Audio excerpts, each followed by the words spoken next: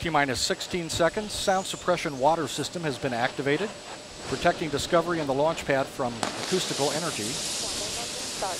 We have a go for main engine start. T-minus five, four, three, two, one.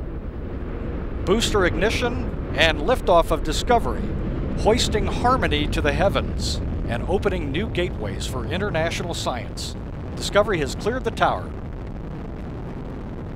Houston now controlling. Roll program. Roger, roll, Discovery. Discovery's roll maneuver is complete. Is now in a heads down position on track for its flight to the International Space Station.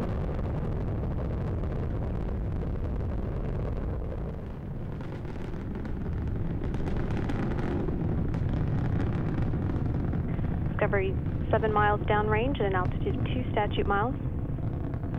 Flying at 600 miles per hour. Discovery's engines are throttling down as the orbiter passes through the area of maximum pressure on the vehicle. Now 50 seconds into the flight.